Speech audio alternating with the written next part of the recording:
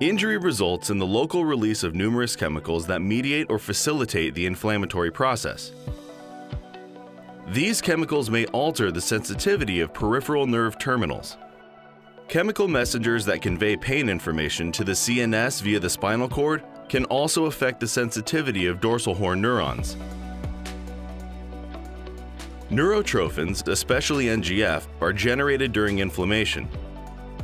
Cytokines and corticotrophin-releasing hormone from inflamed tissue can induce macrophages, monocytes, and lymphocytes to release endogenous opioids that mediate pain.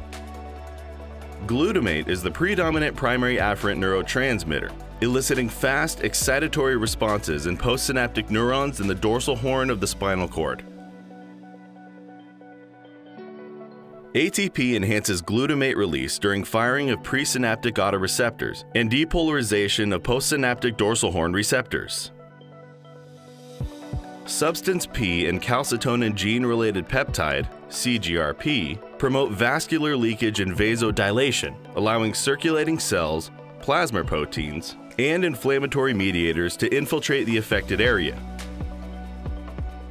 Substance P interacts with postsynaptic dorsal horn receptors, setting the magnitude of the nociceptive response.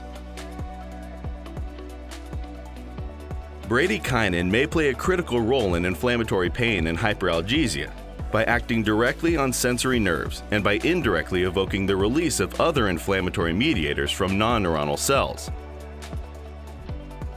Serotonin can intensify pain induced by bradykinin and enhance the response of nociceptors to bradykinin.